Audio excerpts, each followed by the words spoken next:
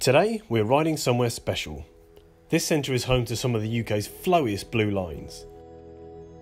But this mountain bike track is in a bit of an unusual location. We're here at Ashton Court in Bristol, and it's, well, a golf course.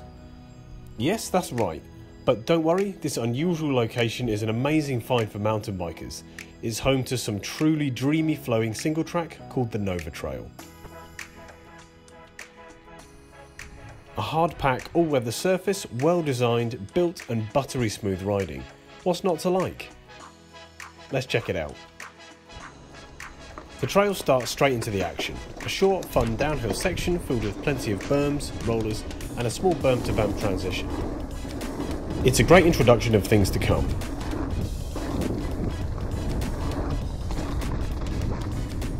The whole trail is thrilling, from these early features all the way through to the fast end sections that has a couple of jumps sprinkled in.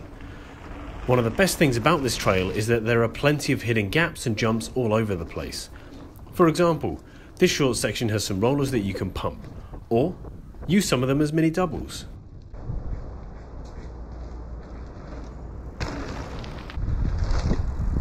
After this exciting intro, you slowly make your way back up the gradual hill where you'll get another taste of that sweet flow trail action.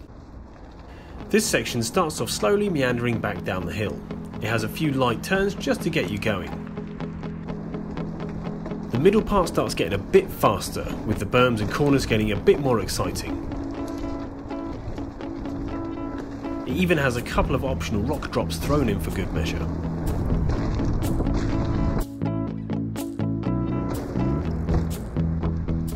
Bottom part of this section continues to get a bit faster and it's a twisting snake of a trail that winds its way through the trees. It really makes the most of the terrain that Ashton Court has to offer. The whole Nova Trail circuit is around 4 miles long and can take you somewhere around 45 minutes to complete. The trail is very involved, so when you're riding, you're pumping. When you're not pumping, you're pedaling. So you'll need a good level of fitness and stamina to make the most of what's on offer here because what they're offering is a hell of a lot of fun.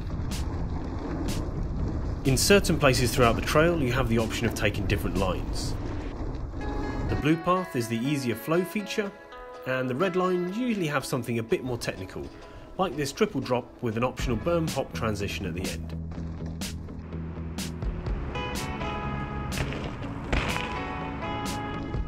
The further you go down this section, the faster it gets and the more interesting the trail becomes, with faster and tighter corners.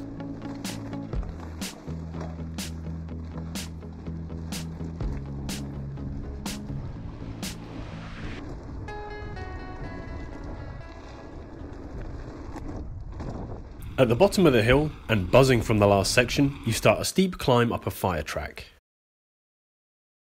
Making your way to the top of the hill, you have the option of carrying straight on with the blue trail or taking a detour to hit the red trail first. So let's take a look at the red trail.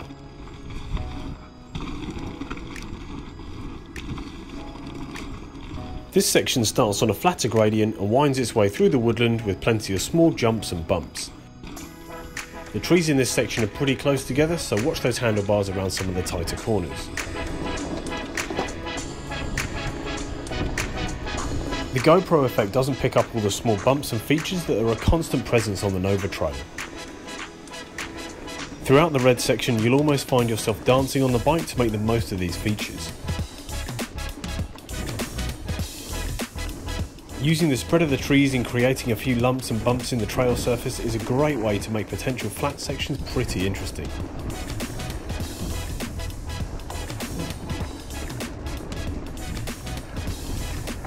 The end of this section gets faster as you navigate the rock gardens and rocky drops. This bumpy section at the end provides a bit of a bone shaking for all you hardtail riders, but it provides a nice mix to the smoothness of the rest of the Nova Trail.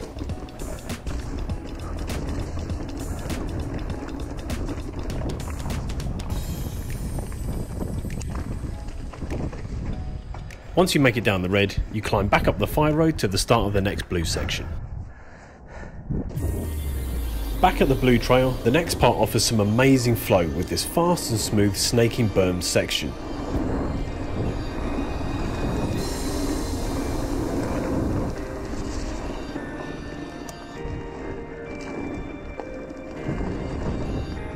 Coming along the back nine of the trail, there are plenty more amazing features as it winds through the trees.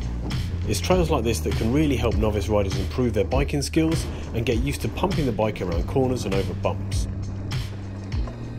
For the advanced riders, there are plenty of gaps that you can find and challenges that you can set yourself.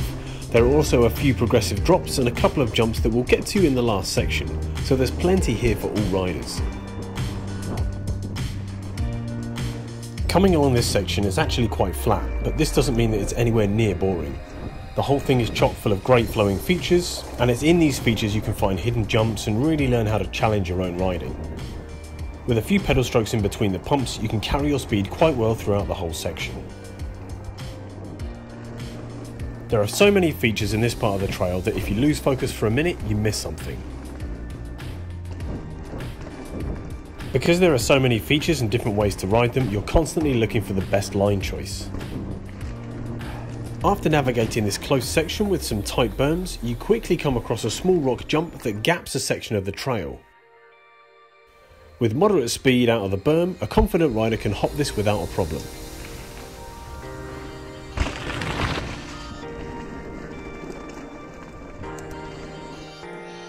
This split in the trail gives you the option to hit these progressive rock drops. The more you hit, the bigger they get. Once you're down the drops, you have a straight section filled with a number of well-crafted, tight and flowing berms. This whole section has been redone recently, so it's super smooth and super flowy.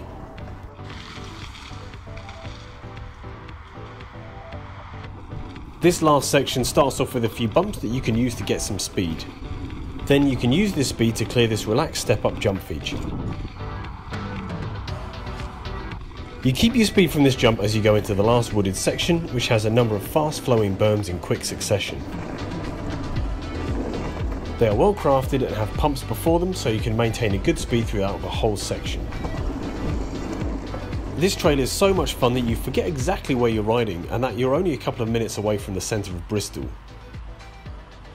The Nova Trail really is a piece of mountain bike artwork. It's great fun, easily accessible, and has been designed with fun in mind. A truly enjoyable ride and I can't wait until next time. After you make it to the end, it's a 5 minute ride back up to the car park where you can treat yourself to a coffee before having another lap of the trails. There are toilets, bike hire, and a bike wash station available. While you're up there, I recommend popping into Pedal Progression to congratulate them on some amazing trails. Did I mention that these trails are maintained by volunteers and donations? So, if you're looking to get involved in something like this, the guys at the bike shop are the people to talk to. I hope you enjoyed this video and it inspires you to get out and onto your bike. Thanks for watching, I'll see you next time.